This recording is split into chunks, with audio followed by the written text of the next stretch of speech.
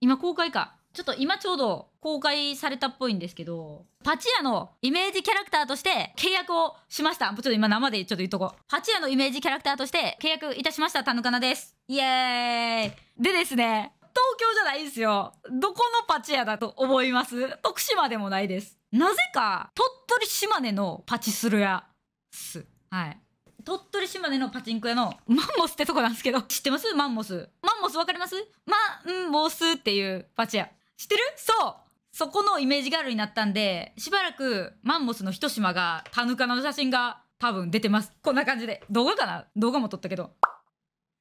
いやコーヒーガールはやりません。えー、っと設定入れてくれるんです。もちろんですよ。そらもう。だって、まあ、タヌカナの島はほんまに設定入れてなっつって。で店内で流れる私のセリフみたいなんがあるんやけど好きなこと言っていいよって言われてさ。その時に入れたセリフが「おいお前らいつもじじいばばあの年金やお前らの少ないお小遣いをむしり取っているパチやから今日はお前らがむしり取る番やぞ。おらいっぱい金取って帰れみたいなセリフを吹き込んだんやけどなんか OK もらったけん多分ホールで流れる。OK ですって言おったけん。やりすぎやんな。お前らの少ないお小遣い。いやじじばばの年金から儲けているこのパチやから今日はお前らが金をもらって帰る番やって言ったら別にいけたから。それがホールで流れる。それ許すパチ屋すげえって感じなんやけどなんで許さされたかっていうとねパチ屋のマルシン商事さんかな？言ったらちょっと一族経営みたいな感じのところでそこの専務さんが格ゲーマーだったの。でその格ゲーマーの専務さんがもうほんと何でもいいですよって。まあ言ったらもうマイナスイメージキャラクターとして僕はタヌカンさん起用するんでって言われて、まあ、ちょっと失礼やけど。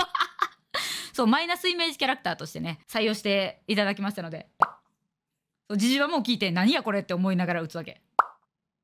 いやジジバは知らんと思う。けどそこで「え俺たちの年金何の話?」ってなってラジオまで来てくれるっていう未来ももしかしたらあるかもしれない。でそれ許してくれるのバリ熱いなと思ってさよくない？マルシン商事。そうヤフコメは荒れると思うけど逆にいやもしかして俺たちの年金の心配してくれてる？キュンってなる可能性はあるよ。いやじゃあマルチな活動をしているというよりなんかいろんなところからお誘いが来るというかね。いやちょっとこれ恥ずかしいな。CM はネットの CM かな。テレビの CM ではないけどネットで CM っぽいのは流れるっつってたね。